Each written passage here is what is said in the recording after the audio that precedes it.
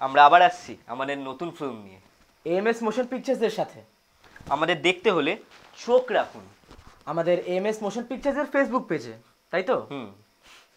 আর পেজটা কিন্তু লাইক করতে একদম ভুলবে না শুধুমাত্র লাইক না সঙ্গে ফলো হ্যাঁ আর একটা জিনিস শেয়ার সকলের সাথে প্রত্যেকটা ফ্রেন্ডসের সঙ্গে কিন্তু শেয়ার করাটা ভীষণভাবে দরকার জরুরি।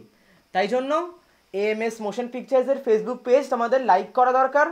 লাইক শেয়ার ফলো একদম ঠিক